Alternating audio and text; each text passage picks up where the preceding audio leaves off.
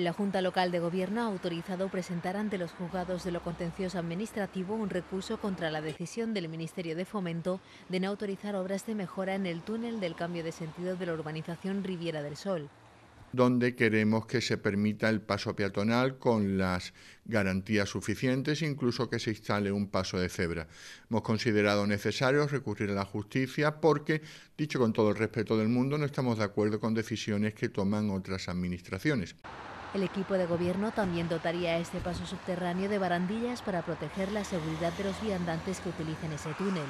Según Bravo, esta zona necesita mejoras urgentes al ser un punto muy transitado, no solo en verano, sino también durante el resto del año.